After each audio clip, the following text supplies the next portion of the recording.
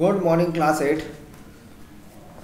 Hope you guys are doing fine, great, taking care of yourselves and having fun. So it's time to meet. Time is coming closer. Hope so. Let's hope for the best. Pray to God and uh, respect everybody in life. Anybody who it is, even if it's an animal, respect it. And uh, we'll get to know more about it. And respect your parents also. So without ado, let's come to page 151, Geography SSC. I uh, will get extensive farming. I'll just read through and finish it today. Only dairy farming and plantation. After that, we are going to go to hit and major crops and, and agricultural development. Or we can go back to history. As it is here, I have seen. I don't know what chapters you have done or not unless I meet you. So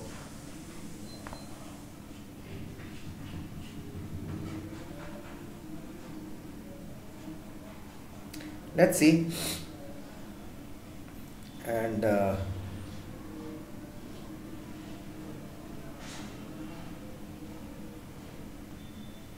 what we can go through and take. Okay. So extensive farming is mostly practiced in the sparsely populated areas which is suitable for farming where abundant land is available which is suitable for farming. I have done this i'm just repeating it one or two commercial crops are generally grown. The most important crops are grown of wheat and maize. The total output is high, but the yield per hectare is low. In some regions, the winter season is long. This restricts a growing season.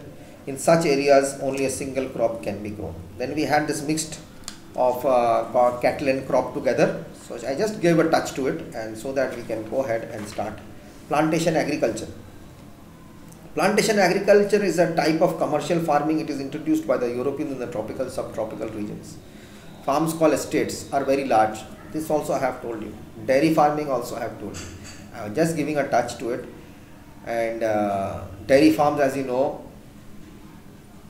milk, sugar, milk, ghee, you get butter, you get uh, paneer, you get sweets, dairy farm products, everything to uh, do with dairy farm products industrial cities. It's a growth of development. It has uh, its roots come from Europe, where the climate is suitable for nat- natural pastures. Cattle are reared for milk near big cities to meet the needs of the people working in factories.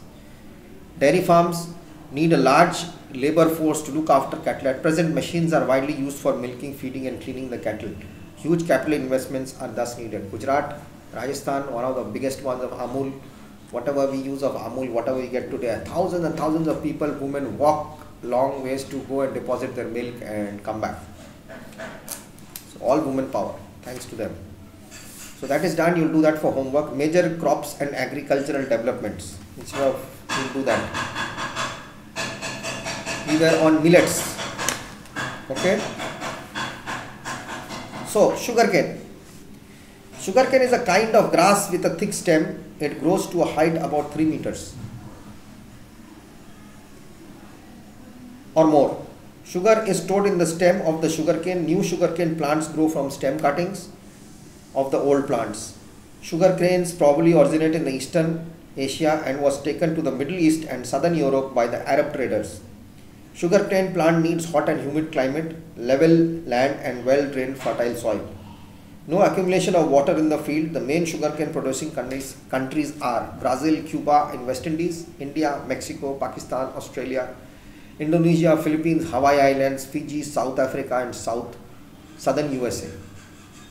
Nowadays, sugarcane is grown in almost everywhere in the tropics and subtropics. However, there is hardly any sugarcane production in the temperate lands.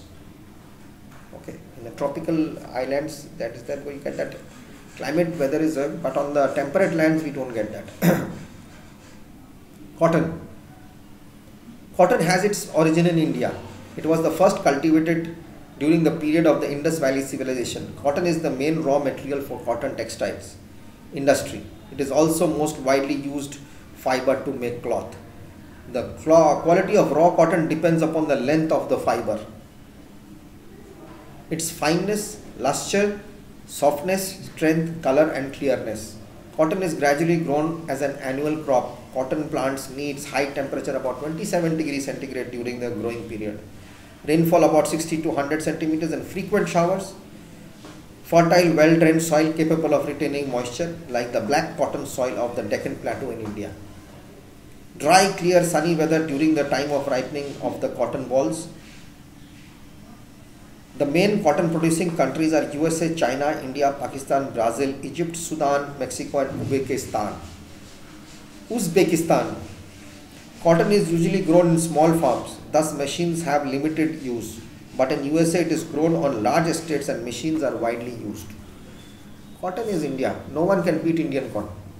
People still die for Indian cotton. That quality, no one, nowhere in the world you'll get that quality. Khadi, that quality you'll never get. Jute is the second most important vegetable fiber after cotton. It is also known as golden fiber. Jute is called the brown paper of wholesale trade. As it is mostly used to make packing materials it is the cheapest fiber which can be dyed but not easily bleached. You cannot color it. You can dye it. Sorry you can dye that color. You can put a dye on it but you cannot bleach it. You cannot clear change that. Jute grows well in a warm and wet climate. Alluvial soil rich in salts is suitable however deltaic soil which is renewed everywhere by floods is ideal for this cultivation bangladesh and bengal jute is an awesome we have. We call it part. Jute is usually sown in March or April. It is its stems are cut in August or September. Jute growing and harvesting require abundant labor. This is readily available in the densely populated tropical areas where it is grown. The main jute producing countries are India, Bangladesh, as I said, Brazil, Taiwan, China, Thailand, and Malaysia. India and Bangladesh are the leading jute producers in the world. Only jute, only jute you will see part, part, part everywhere. It's hanging everywhere. Tea is prepared from leaves of a tropical shrub which is native to hill slopes of monsoon Asia. Its cultivation probably originated in the Changjiang Valley of China. Tea is popular drink in the most of British Commonwealth countries. Tea is a beverage crop grown on plantations. Tea plant needs sloping land to avoid waterlogging. Temperature about 25 degrees centigrade is most suitable. Annual rainfall above 250 centimeter well distributed throughout the year. Deep, well drained, fertile soil. Water cannot log in. You cannot have water. Cheap labor for picking the leaves. Tea picking is a skillful job which requires patience and judgment. It is usually done by women. Two tender leaves and a bud are usually plucked from the stem. The picking season is from March to December. In India, the tea leaves are plucked once in a fortnight, while in China, tea leaves are plucked three or four times in a year. Once in a four time, every four weeks they are plucked. But in China, they are plucked after three or four times in a year. The main tree producing countries are China, India, Sri Lanka, Kenya, Japan, Indonesia, and Bangladesh. Nowadays, modern machines are used to process tea leaves. Proper rolling, fermenting, and blending of tea leaves give it the required flavor. We have so many types of teas these days, isn't it? But my best is coffee. Coffee, drinking coffee, and that relaxation which I get, I guess, I don't know, it's my uh, LSD for me. It's my life saving drug. The coffee plant is a native of the highlands of southern Ethiopia, Africa, best coffee.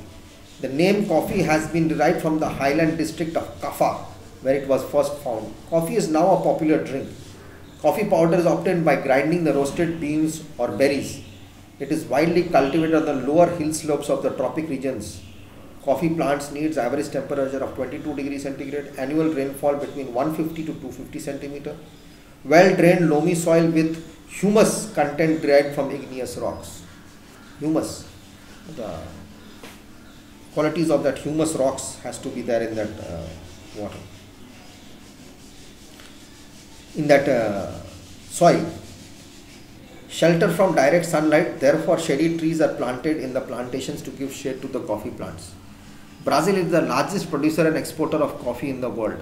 Other coffee producing countries are Colombia, India, Angola, Ethiopia, Mexico, Cote d'Ivoire, and East Africa. US is the larger important, largest importer of coffee in the world. It imports all the coffee from wherever it gets, it takes in coffee. People drink a lot of coffee in America agricultural different there are different type of coffees preparation if you go to barista if you go to cafe coffee different flavors different uh, type of coffees you get and you can drink it in different ways most of the countries in the world are making sincere efforts to increase crop production to meet the needs of increasing population. This can be achieved through increasing land under cultivation, growing more than one crop in a year, improving irrigation facilities, using high yielding variety seeds, using organic and chemical fertilizers. We will study about agricultural farms in India and USA to understand the development of agriculture in a developing and a developed country. In a country which is developing and already in a developed country, how they go out. A farm in India 75% of our population live in villages and depend directly or indirectly on agriculture. It provides food for human beings and raw materials for agro-based industries. We have selected a farm in the Ganga plains where the land is level and the fertile. The main features of agriculture here are subsistence agriculture is mostly practiced. The farmer's family consumes almost the entire produce with the little or no surplus to sell in the market. Land holdings are small due to the inheritance law the land which belongs to the father is divided among his sons and daughters. This leads to small and uneconomic land holdings. Agriculture depends largely on the monsoon rain, which is uncertain, unreliable, and unregular, which is irregular. Most of the farm work, such as plowing, irrigation, harvesting, and threshing, are done by animals and members of the farmer's family. The production of food crop is top priority. The area under fodder crop is almost insignificant, that is for animals. The farmers face many problems. Some of them he cannot buy enough agricultural inputs due to fund or shortage. He has to borrow money from a money lender or a bank. He has to sell his produce immediately after harvest due to shortage of proper storage facilities. He has to depend upon various cooperative societies to meet his needs. However, the Green Revolution has changed agriculture in the following ways. Introduced high yielded uh, seeds uh, high yielding variety seeds, ensured enough and timely availability of water through irrigation, adequate use of chemical fertilizers, use of pesticides and insecticides, consolidating and of land, land holdings, farm mechanization, provision of agricultural credit on soft terms from the banks to do agriculture. Agriculture universities were set up to train the farmers. This helped not only to enhance production but also to improve the general social and economic conditions of farmers and their families to come to know how long will they stay. This is the part in India which is still under development. A farm in USA. USA is a prosperous country. It is blessed with vast fertile plains and extensive grasslands. The prairies in the USA stretch from the Rocky Mountains to the in the west to the Great Lakes in the east. The prairies are located in the interior of the continent and thus experience continental type of climate. Everything is there.